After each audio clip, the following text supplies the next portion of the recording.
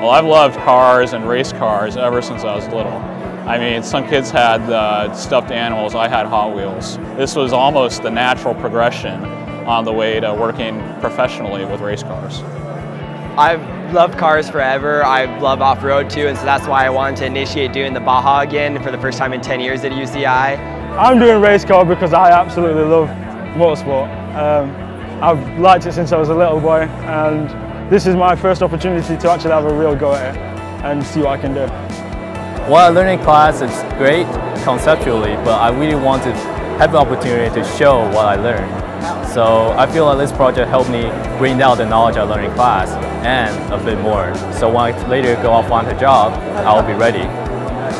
I've been getting a lot of experience already and I just want to keep learning more from this project because I learned a lot about the actual things that you do as an engineer instead of just doing math and calculations.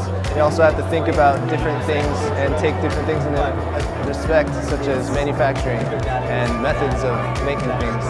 I get a lot of satisfaction out of the fact that we're actually building something and because I know a lot of the a lot of projects here are just a lot of theory and a lot of like coding and stuff. So the fact that we get to weld stuff together and bolt everything on and end up with a running car is really satisfying to me.